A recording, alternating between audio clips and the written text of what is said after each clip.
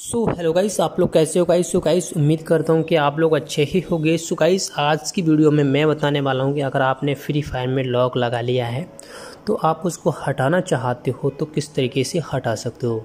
जी हाँ अगर आप लोग फ्री फायर में लॉक को रिमूव करना चाहते हो तो फिर किस तरीके से कर सकते हो? गाइस आज की वीडियो में आप लोग को यही बताने वाला हूँ तो गाइस ज़्यादा टाइम गवाते हुए वीडियो स्टार्ट कर लेते हैं।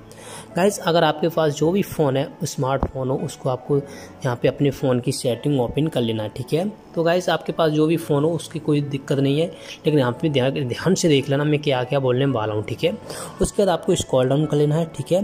और आपको यहाँ पर देखना ऐप्स अगर नहीं मिलते तो परेशान नहीं होना। अगर आपके यहाँ पर ऐप नहीं मिलते तो भी परेशान नहीं होना, यहाँ पर देखना है नीचे स्क्रॉल डाउन कर लेना सिक्योरिटी का ऑप्शन अगर आपके फ़ोन में सिक्योरिटी का ऑप्शन मिलता है तो क्लिक कर सकते हो। अगर आपका ऐप का ऑप्शन मिलता है, उस पर भी आपको क्लिक कर लेना। है जैसे कि मेरे यहाँ पे ऐप्स का ऑप्शन नहीं मिलता तो मैंने सिक्योरिटी पे क्लिक किया है।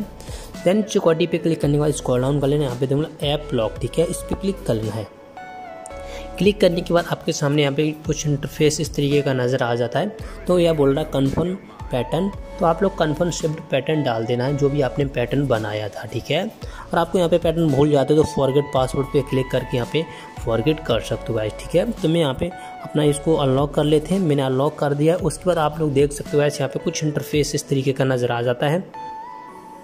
और आपके सामने ऐप लॉक का ऑप्शन आ गया। उसके बाद जो भी आपके फ़ोन में ऐप इंस्टॉलड हो जाते हैं तो सारे के सारे यहाँ पे नज़र आ जाते हैं।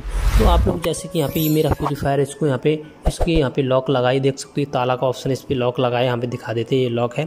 तो इसको रिमूव करना है तो इसको इस पर टिक किए। टिक करने के बाद आपको इसको बैकाजन है।